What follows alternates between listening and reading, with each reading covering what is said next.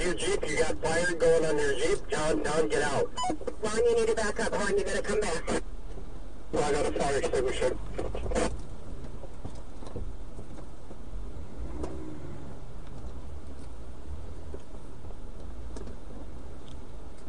We got a brush fire.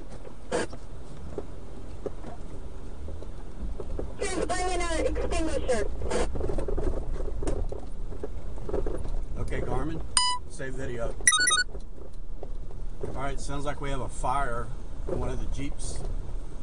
I'm heading back with my pump sprayer. I wouldn't normally do this, so I'm gonna drive around this Jeep. See if I can get back there to assist.